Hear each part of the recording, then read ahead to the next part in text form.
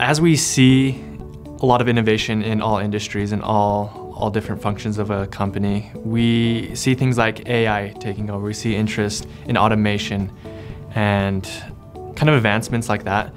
There is a way to use that in HR. HR is very antiquated in a lot of places.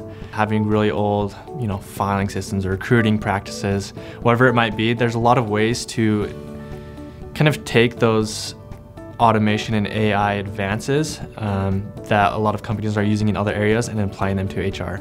I think it's important to have a good foundation and good processes before you do so. Um, a lot of people get excited about all these new things and kind of lose focus on what matters in a lot of ways uh, with your people.